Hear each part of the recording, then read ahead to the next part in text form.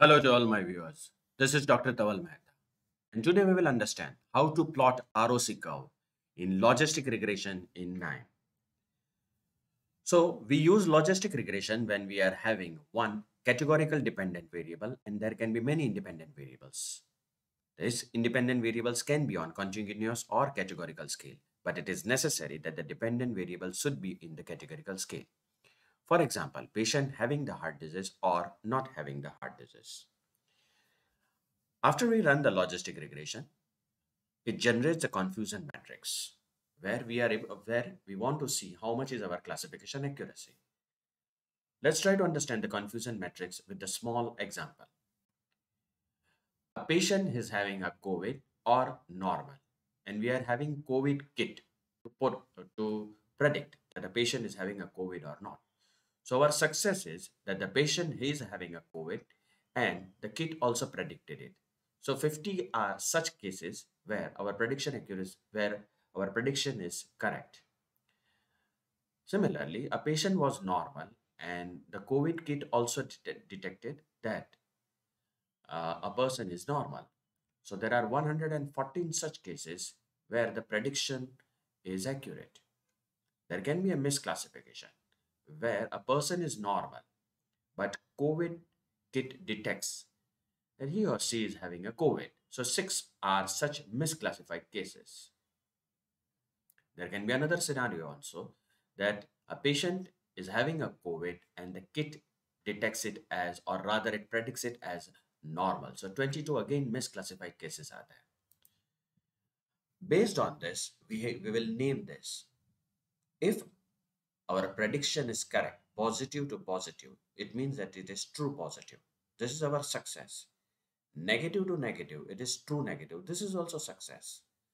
But positive, a person is COVID positive and the kit detected in negative, that is an error. A person is COVID negative and the kit detected it is positive. This is also an error. So false positive, type 1 error, and this is type 2 error. Based on this, there are some statistics which are generated such as sensitivity, specificity, accuracy, precision.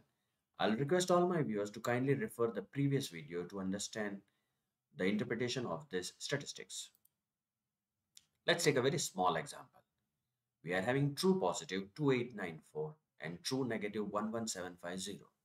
The false positive is 643 and false negative is 994. What is our classification accuracy? It is the summation of our green cells, these green cells, divided by the total number of observations. So 2894 plus 11750, 2894 plus 11750 divided by 11, uh, 16281, which is the summation of all these four cells. So it is 0.899. So our classification accuracy is approximately 90%. Now, what is our in interpretation of area under the curve? The accuracy of any test depends on how well the test separates the group being tested into those with and without the disease in the question. Accuracy is measured by the area under the ROC curve. An area of 1 represents a perfect test An area of point represents a worthless test. There is a very rough guide which we should understand. So if you get area under the curve in the range of 0.9 to 1, it is excellent. 0.80 to 0.90, good. 0.70 to 0.80 fair, 0.60 to 0.70 poor, 0.50 to 0.60 uh, it's fail. The model is not working properly. Then the KNIME will also generate the receiving operating characteristics curve, ROC curve. So a receiving operating characteristics curve is a graphical representation of the performance of binary classifier system, such as logistic regression, as, as its discrimination threshold is varied. The ROC curve plots the true positive rate against the false positive rates at various threshold settings. True positive rate against the false positive rate. Let's let, let's go little bit. True positive rate with false positive rate. Since to compare two different models, it is often more convenient to have a single metric rather than several ones. We compute two metrics from the confusion matrix, which will which we will later which we will combine later on. The resulting curve is ROC curve and the metric we consider is the AOC of this curve which is called AUROC. The ROC curve shows a well how well a model can distinguish between two classes, that is a positive and negative, by varying the probability thresholds for predicting the positive class. Sensitivity, the true positive rate, is a proportion of correctly, correctly classified positive instances among all positive instances, and specificity is the proportion of correctly classified negative instances among all negative instances. Let us go back. We are talking about sensitivity and specificity. What it is? Sensitivity is true positive divided by true positive plus false negative. This and this. Specificity is true negative divided by true negative plus false positive. So our ROC curve will be generated on, the, on this basis. ROC curve will illustrate the trade-off between sensitivity and specificity. A classifier that randomly guesses a class would result in a diagonal line from the top bottom left to the top top right. See this. The dark line which you can see, it's 50-50 we uh, the model is not at all working or rather it's a guesswork we want that our model should go beyond this uh, diagonal line. You can see the blue lines and red lines so that we can say that it is able to classify the classes properly. Okay. A perfect classifier would have a ROC curve that goes up the y-axis and the straight across the x-axis. Now this is a very idealistic situation.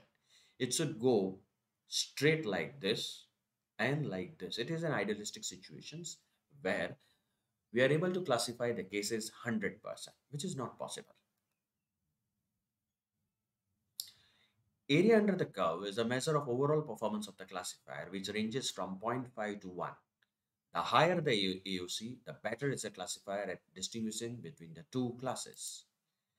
The ROC curve can help to determine the optimal threshold for making predictions based on classifier's goal. That is, either you want to maximize sensitivity, specificity, or accuracy.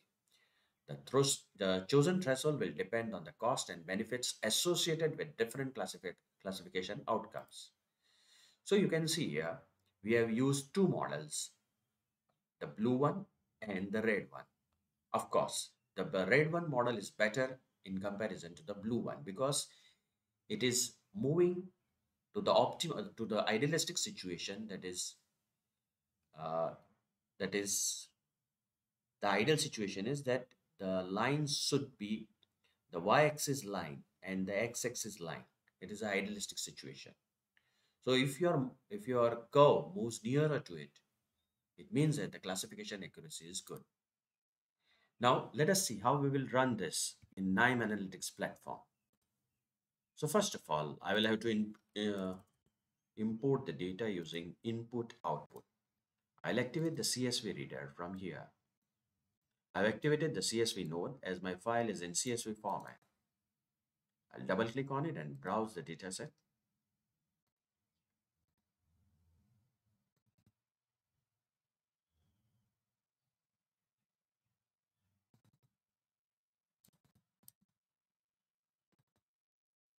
Part 1, press open, click OK, right click on it and execute.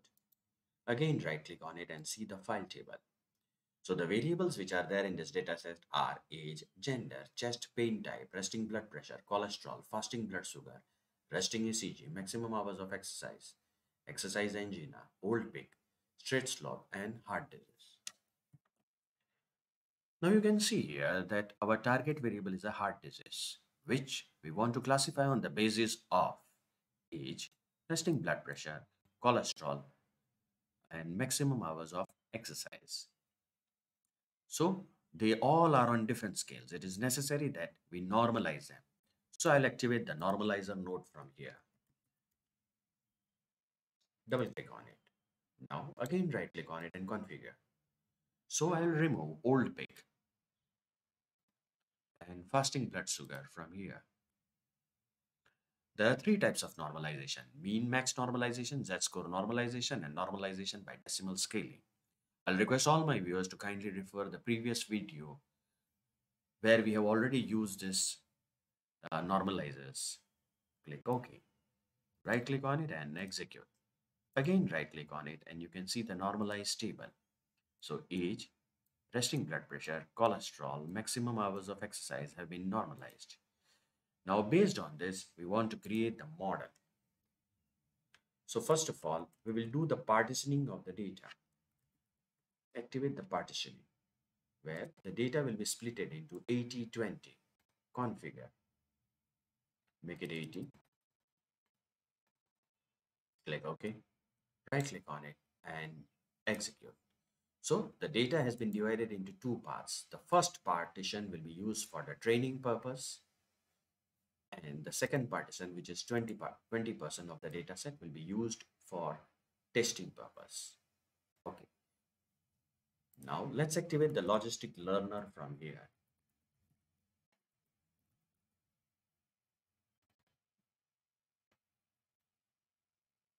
Then right click on it. Right click on it configure. So we want to classify the heart disease, yes and or no. So we, we will make the reference category as no.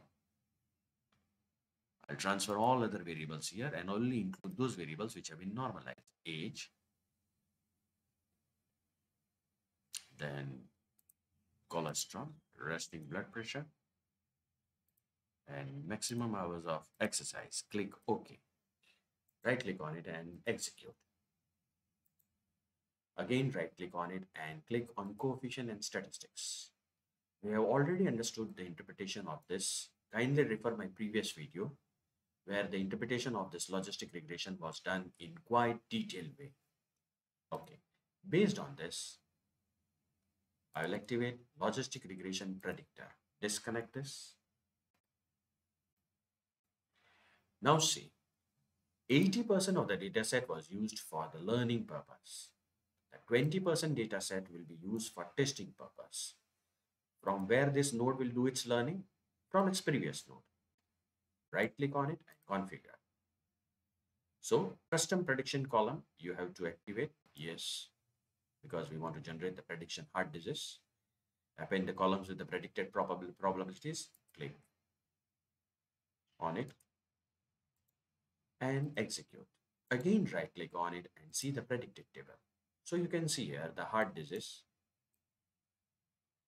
uh, and the prediction no and yes, right? Both the predictions we are having.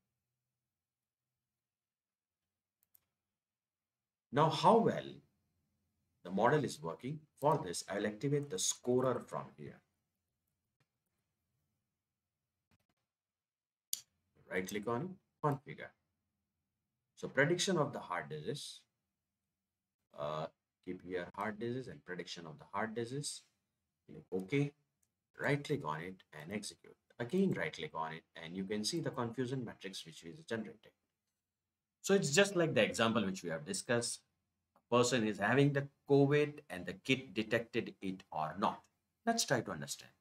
73 are such cases where a person was having the heart disease and our logistic regression model predicted based on these variables that yes these are the these are the variables influencing the heart disease.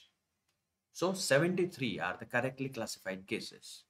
50 in 50 cases the person was not having the heart disease and our model also worked appropriately. But 34 and 27 they are misclassified cases. Or in other words they are type 1 and type 2 error it's also known as a leakage in our model. Now, let's try to see how well it performs on our ROC curve. Okay, again right click on it and see the accuracy statistics. So our accuracy statistics is 0.668, which is quite low. To understand all this, uh, statistics like recall, precision, sensitivity, kindly refer my previous videos where we, I have discussed in detail. Now let's go in ROC curve activate it disconnect from here. Disconnect from here. And connect the node with here. Right click on it and configure. Now activate the heart disease here and prediction yes. Remove all other variables and only include the prediction heart disease yes. So we want to see that how, uh, what is the performance of our logistic regression model in classification. So for heart disease, yes, and the prediction heart disease, yes. So the original data is compared with the predicted data. Then click on general plot options. Make sure that you click on create image and output. Click OK. Right click on it and execute. Again, right click on it and see the image. So you can see the image which has been generated. So the area under the curve is 0.762. Again, right click on it and you can see it is giving me the statistics 0.762. Let's do the interpretation. I'll make this as 0.762. So if you want, you can write this interpretation 762. An AOC value of 0.762 in an ROC curve indicates that the logistic regression model has a moderate level of discriminative power in distinguishing between the positive and negative classes. The AOC ranges from 0 to 1 with higher values indicating the better performance. An AOC, AOC of 0.5 represents the random guesswork, while an AOC of 1 indicates a perfect classifier that perfectly separates the two classes. Or in other words, the idealistic situation which we are talking about when the when your this line the model line is is aligned with the y-axis and x-axis i'll do the correction here also so 0.762 an AOC of 0.762 suggests that the model has some ability to correctly classify positive instances as positive and negative instances as negative. But there is still room for improvement. In other words, the model's predictions are better than random chance, but there may be some misclassification or overlap between the two classes. So this is all about how to run ROC curve in logistic regression. For more videos on KNIME, kindly subscribe to my channel. You can follow me on LinkedIn and Twitter. Please refer my playlist in which I already uploaded many videos on KNIME.